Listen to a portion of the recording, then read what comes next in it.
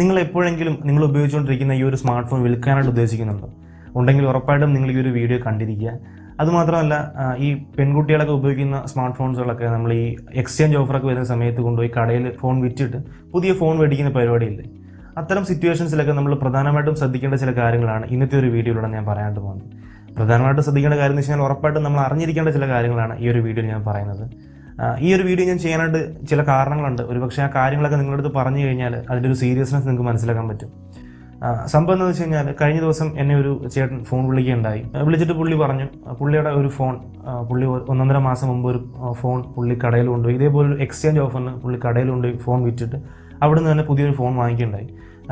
പഴയ ഫോൺ വിറ്റ സമയത്ത് പുള്ളി ആ ഫോണിൽ നിന്നുള്ള എല്ലാ ഡേറ്റാസുകളും എല്ലാ ഫയൽസുകളൊക്കെ ഡിലീറ്റ് ചെയ്ത് ഫോൺ റീസെറ്റ് ചെയ്തതിന് ശേഷമാണ് കടയിൽ കൊടുത്തതെന്ന് പറഞ്ഞു. എന്നിട്ട് അവിടെ നിന്ന് തന്നെ പുള്ളി പുതിയൊരു ഫോൺ മേടിച്ചിട്ട് ഇപ്പോൾ ഏകദേശം ഒന്നൊന്നര മാസത്തോളമായെന്ന് പറഞ്ഞു. അതിനുശേഷം ഒന്ന് രണ്ട് ദിവസം മുമ്പ് ആ ചേട്ടനും ചേട്ടന്റെ വൈഫോട്ടൊക്കെ നിൽക്കുന്ന ചില ഫോട്ടോസുകൾ ആ പഴയ ഫോണിലുണ്ടായിരുന്ന ചില ഫോട്ടോസുകൾ ചില വാട്സപ്പ് ഗ്രൂപ്പുകളിൽ ഷെയർ ചെയ്തതായിട്ട് ഈ ചേട്ടൻ കണ്ടു.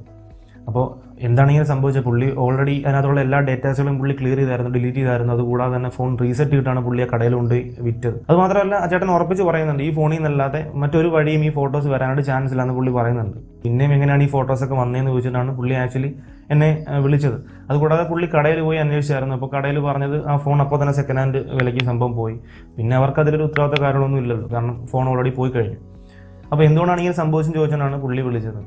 അപ്പോൾ നമ്മൾ ഇതിൽ നിന്ന് മനസ്സിലാക്കേണ്ട ഒരു കാര്യവും നമ്മളെല്ലാവരും അറിഞ്ഞിരിക്കേണ്ട ഒരു കാര്യവും എന്താണെന്ന് വെച്ച് കഴിഞ്ഞാൽ നമ്മുടെ ഫോണിൽ നിന്നുള്ള എല്ലാ ഡേറ്റാസുകളും എല്ലാ ഫയൽസും നമ്മൾ ഡിലീറ്റ് ചെയ്താലും നമ്മുടെ ഫോൺ നമ്മൾ റീസെറ്റ് ചെയ്താൽ പോലും നല്ലൊരു റീകവറിങ് ആപ്ലിക്കേഷൻ വെച്ചിട്ടോ അല്ലെങ്കിൽ നല്ലൊരു റിക്കവറി സോഫ്റ്റ്വെയർ വെച്ചിട്ടോ നമ്മുടെ ഫോണിൽ നിന്ന് ഡിലീറ്റ് ആയ പോയ ഫയൽസൊക്കെ റീകവർ ചെയ്തെടുക്കാൻ പറ്റുന്നതേ ഉള്ളൂ.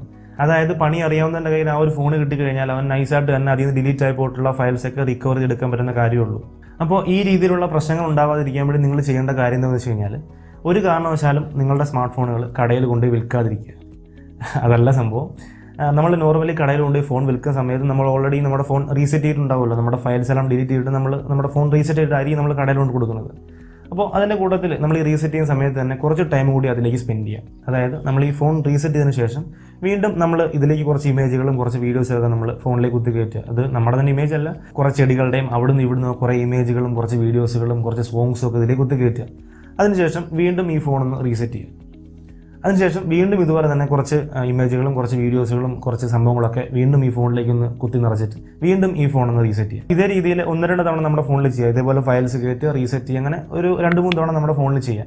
ചെയ്തതിന് ശേഷം അവസാനം റീസെറ്റ് ചെയ്തതിന് ശേഷം നമ്മുടെ കടയിൽ കൊണ്ടുപോയി ഫോൺ വിൽക്കുക. അപ്പോൾ ഇത്തരത്തിൽ ചെയ്തു കഴിഞ്ഞാൽ ഇനി ആരെങ്കിലും ഫോൺ റീകവർ ചെയ്താൽ തന്നെ അവസാനമൊക്കെ ഡിലീറ്റ് ചെയ്തിട്ടുള്ള ആ ഒരു ഇമേജുകളും ഫയൽസും ഒക്കെ ആയിരിക്കും അവർക്ക് റിക്കവർ ചെയ്തെടുക്കാൻ പറ്റുന്നത്. നമ്മൾ ആദ്യം ഡിലീറ്റ് ഡിലീറ്റ് ചെയ്ത നമ്മുടെ ഇമേജുകളും കാര്യങ്ങളും ഒന്നും തന്നെ അവർക്ക് റിക്കവർ ചെയ്തെടുക്കാനുള്ള ഒരു വഴികളും കാണത്തില്ല.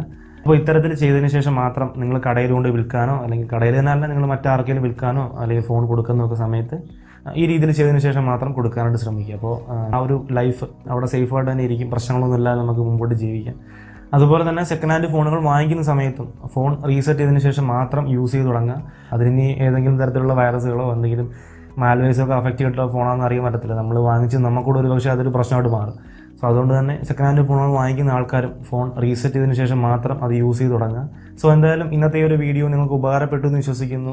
ഇഷ്ടമായിട്ടുണ്ടെങ്കിൽ ലൈക്ക് ചെയ്തേക്കുക. അതുപോലെ തന്നെ നിങ്ങളുടെ ഫ്രണ്ട്സിലേക്ക് ഈ ഒരു വീഡിയോ ഷെയർ ചെയ്തെത്തിക്കുക. ചാനൽ സബ്സ്ക്രൈബ് ചെയ്തിട്ടില്ല എന്നുണ്ടെങ്കിൽ ഇതുപോലുള്ള കൂടുതൽ കണ്ടൻസുകൾ ലഭിക്കാനായിട്ട് ചാനൽ സബ്സ്ക്രൈബ് ചെയ്യുക. കൂടെ വരുന്ന ബെല്ലൈക്കും കൂടി ഒന്ന് പ്രസ് ചെയ്തേക്കുക. ഓക്കെ എനിവേ നമുക്ക് അടുത്തൊരു വീഡിയോയിൽ പുതിയൊരു ടെക്നോളജി കണ്ടന്റ് വായിക്കണം